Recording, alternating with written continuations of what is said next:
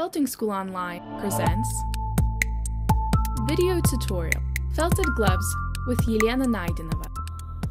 Yelena Naidenova managed to unite her two passions fashion design and felt making.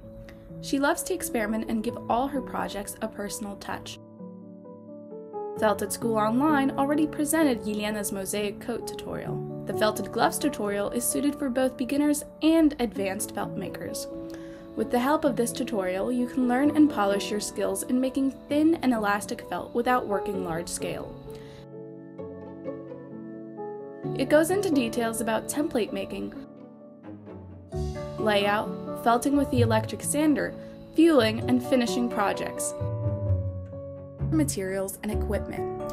We would need vegetal fibers like viscose or bamboo for color and plasticity, fine felting wool in tops 19 to 21 micron, and although this is not a must, some Angora rabbit fibers. Angora wool makes the gloves soft and fluffy, although the fibers never exceed 12% of the glove's composition. You may also experiment with yak or very soft alpaca wool, or similar fibers.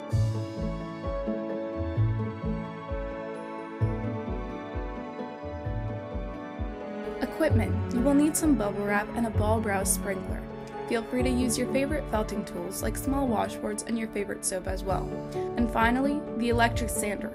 It helps a lot during the first steps of felting. Felting School has some free videos about felting with a sander. Enjoy your gloves and happy felting!